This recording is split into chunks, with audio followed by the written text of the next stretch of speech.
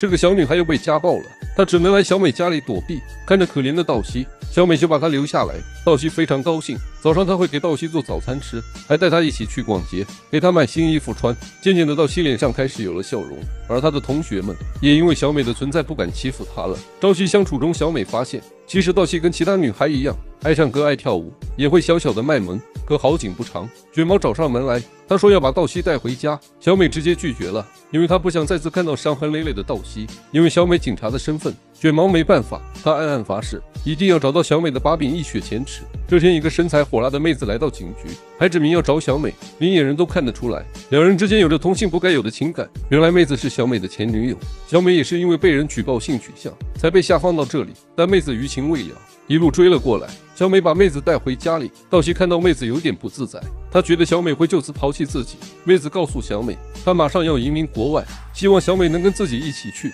小美不愿意就拒绝了，于是妹子打算吻别小美就离开。这一幕正好被旁边的卷毛看到，这下完蛋了。接下来的几天，小美都过得提心吊胆。这天警局接到报案。卷毛手底下的一个工人在码头闹事，小美赶到码头，男人几乎崩溃的下跪请求放他回家。经过调查发现，这个男人竟然是个偷渡者。